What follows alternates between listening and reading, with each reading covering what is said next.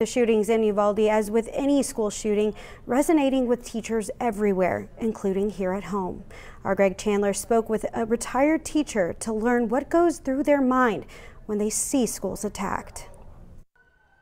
It's a teacher's worst nightmare, one they hope never hits close to home. And when teachers see tragedies like the Uvalde shooting, their minds always turn to the same thing. Those innocent little kids that are getting gunned down for no reason. Isabel taught middle school for more than 30 years before retiring in 2011. She asked we not use her last name. For her, Uvalde hits close to home, both as a teacher and as a parent. I can't imagine what that pain is. My heart goes out to every parent that has lost a child. As teachers, we're not psychologists or social workers. Local Teachers Union head Dr. Nancy Vera says many local teachers are emotional and afraid for their students. Vera believes state lawmakers need to better address mental health in schools. We need someone in the classrooms daily to be dealing with these situations, to be dealing with the social and emotional and mental needs of our children. And if things don't change, Isabel offers a lesson from her teaching days. That was the one thing I taught